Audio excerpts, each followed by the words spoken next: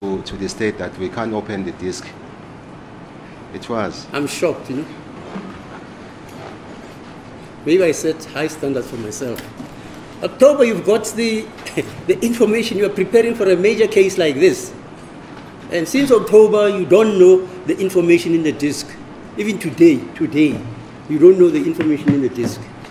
I know, that the, so? I know the information. So why, do you want a, It's not relevant. If it's not relevant, then you don't ask any questions which are irrelevant according to your defense. You say it's not relevant. He says it's relevant in terms of the fact that five, at least five numbers, you say, which are encapsulated in the downloading Can, analysis, sorry, of Mr. House. Then you say it's irrelevant. Fine. So what is the problem? maybe maybe uh, I can uh, propose, my lord, that we adjourn until um, 2, since the state is going to assist us uh, to get the, the, the correct Hey, information. what's your time, sir? Yeah, no. Quarter past? Six- 16 minutes past 12. Do you want us to adjourn until tomorrow? I'll do it Not because this is how we, No. we, No, we act. no, for the sake of finality, I'm requesting until 2 o'clock this afternoon, not tomorrow. Okay, two o'clock. Yes, Mr. Baloyi? As a court, please, my lord, there are two issues that stood down. The first one is that of uh, Advocate Mnisi reca- regarding the recording. Um, we've indicated to Advocate Mnisi that perhaps it's safer to get the transcripts. Hopefully, when we um, resume again, we'll be having the transcripts. Two things that stand out with Mr. Baloyi's uh, statement. He said, and I quote, maybe regarding Advocate Mnisi, regarding the recordings, maybe it's safer to get the transcript. Safer? What does he mean by safer? Why can they not play the recording? I mean, even I can play them the recording. Firstly, and so Ratha said this in the previous court session that he doesn't want that um, evidence is being planted. Why is he suggesting a transcript as being safer? No, we want to hear the witness say what he said. Um, did he say all five were linked in the communication or he did not. Why can we not listen to him say it word for word? Because that man was really adamant. And Mnisi as well is also adamant. So who is correct? The other thing that stands out in Advocate Baloyi's shocking statement, the other thing is that after he says that, none of the defense object to receiving a transcript. Am I overlooking things here? Uh, so, what are your thoughts on this, Mzansi? Comment down below. Should they get a transcript or should we listen to the recording? Surely the state can figure out how to play a recording on speaker at some point or should we assist them out? Like this is highly highly strange for me. But let's continue listening but let me tell you something. You know sneak peek Baloyi is going to try and get a four day weekend as in no session on friday and monday because he wants to come back on tuesday.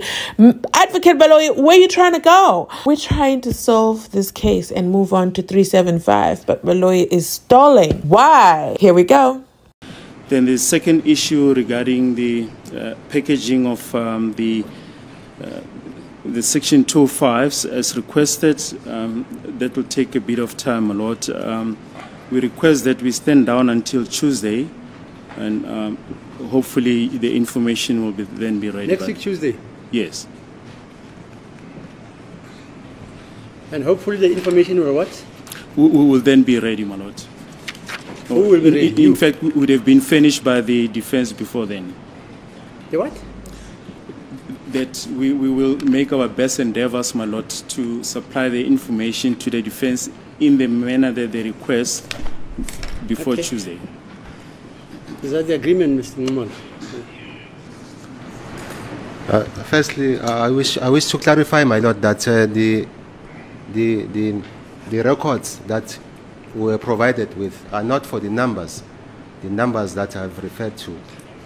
Um, so I, I cannot take uh, proper instructions, and in order to formulate a proper defense. Yeah, but I'm just In saying. respect of my is client. That's the arrangement now.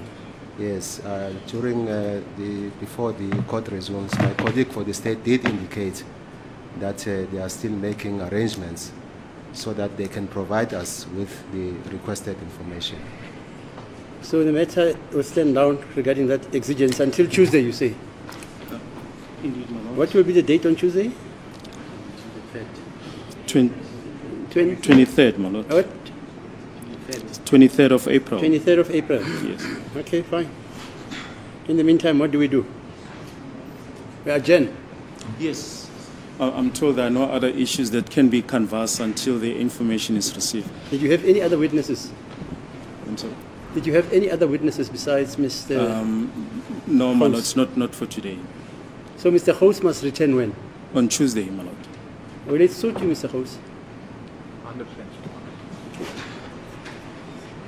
Is it please the court, Mr. I'm, I'm not available on Tuesday. I've got a very old matter at the regional court that I need to go and attend to. And in fact, the initial arrangement was that Mr. House should be here tomorrow so that I finalize my cross-examination on him based on the aspect that I wanted to complete it. So I don't know where does this issue of a Tuesday that the matter should then be rolled over if a Tuesday comes from. But in any event, on Tuesday, I'm going to request somebody to stand in for me because I'm not available. Mr. Baloyi, are you listening? Yes, indeed, my lord. Uh, uh, we, we, we don't have a problem should we continue tomorrow. I explained to Advocate Mnisi that it will serve no purpose just to come tomorrow for a few minutes, that we should rather stand down to date when all the information is available and we can make meaningful progress. If it's not available on Tuesday, I don't know if it's available on Monday, maybe, or Wednesday, um, so that we can then continue. So when should I postpone the case to? To the 23rd, as you guys are, are agreeing, regarding the records of the 208, oh, 205, is it? My lord, if maybe I can respond in, in respect of accused number five, my lord. Yeah. My lord, I think uh, until Tuesday, the 23rd, will, uh, will be suitable to us to get the required section 205 records so that we'll have time to go through the records before we resume with our cross-examination. Okay. As the court wills. Yeah, but then it's fair that Mr. House should come on Tuesday, on the 23rd. Makes sense. Be- Because you've been referring to section 205 applications. Uh, My lord, I can't uh, testify about the 205. Yeah, yeah, I know. Sure. Yeah, We don't want to listen to what they say about the 205. I'm on the cell phone analysis. But they are asking you about that.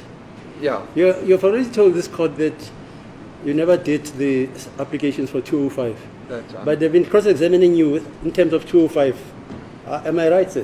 that's correct. So please come. On the 24th then. 23rd. The matter is postponed to the 23rd. Mr. House, you will come on the 23rd. Further cross-examination. So what, yeah, you're excused, Mr. House. What are we doing tomorrow, sir? We're not sitting tomorrow and Monday. Why, why, why not? Well, um, well, we just want to dispose of uh, the, you know, this issue. Um, if if um, we have to sit tomorrow, my lord, um,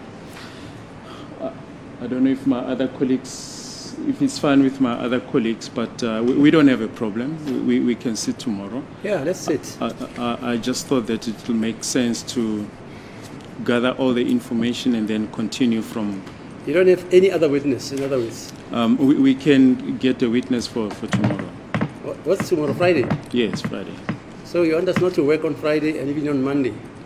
And, and, and resume on Tuesday. And just on finalize and just finalize this, this witness, my lord, and then continue with, with other witnesses. No. We must sit tomorrow. The JP is very worried about the procrastination and the waste of wasting of time about this case. As and I agree with you. A lot of wasting of time, like today. For one hour, we're sitting doing nothing, hoping that this machine will tell us,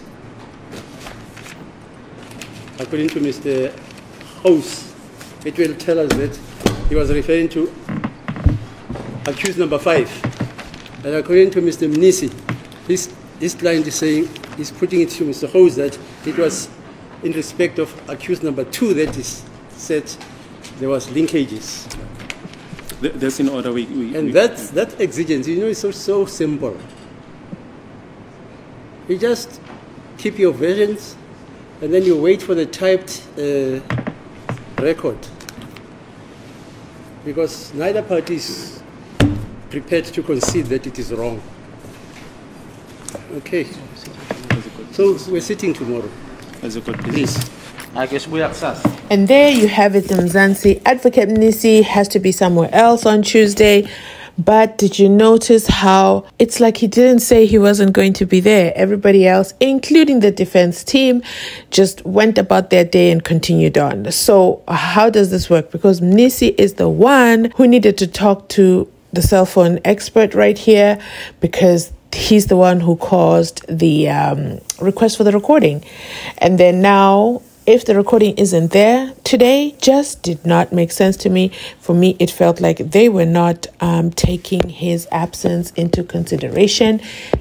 Literally, they all just went about their day. Mngomezulu is extra quiet today. But uh, yeah, that's literally what the day looked like. But what I wanted to highlight as well is Baloyi trying to get out of work, or should I say, coming to court Friday and Saturday so that they can prepare the CD for the defense that Ngumalo is like, I cannot proceed to cross examine this witness because I do not need what I need so that I can cross examine the witness. Because, hello, how am I expected to prepare? And Ratha's like, well, you don't really need that information, which for me was kind of a little bit shocking to hear a judge say that. But let's talk about Judge Ratha's body language. First of all, he brings to our attention, rather, that the JP is very worried about the procrastination of this case and that he agrees with the JP as well. You know, you know what? Kudos to Ratha. They are sitting today so that this continues on. Mr. Baloyi, you're just going to have to find a witness because what are we doing till Tuesday? Good move on Judge Ratha's part. Great move. But let's go and talk about his body language because the sh- it's the body language for me. It is quite shocking, remains extremely unprofessional. But today he's flickering that pen loudly when Mumalo added his objection that he still hasn't received, even though we've gone for a recess, we've come back and we promised that by two o'clock everything will be fine, but we're coming back. And guess what? We still cannot open the CD. And you know, he starts hitting the pen loudly, if I can add, uh, flickering the pen, flickering the pen loudly, which is a sign of frustration. And then he's rolling his eyes, he's throwing his hands, he is showing clear frustration. He's like, okay, fine. When do you guys want us to to to come back? Because clearly nothing is happening here. So yeah, your thoughts on that, Mzansi. But first, remember to like this video. Um, let me know your thoughts on how today went. So let me know how everything went, what your thoughts are on Mnisi and Advocate Ramosepele, how they performed on yesterday's session. What about the witness? Let me know your thoughts in the comment section below. Mr. Witness, self an expert. Is he truly an expert? Does he know what's going on? Or he's just there to read Stein's um, um, documents and not deviate from what he's reading there. Um, AKA, he cannot apply any knowledge or any thought process or any analysis to the data right in front of him. That's it from us today, Mzansi. Remember to like, comment, and subscribe. Um, we'll catch you, of course, on our next upload. And if you've made it this far in the video, remember to drop an emoji because you are part of the VIP gang. Thanks so much for watching.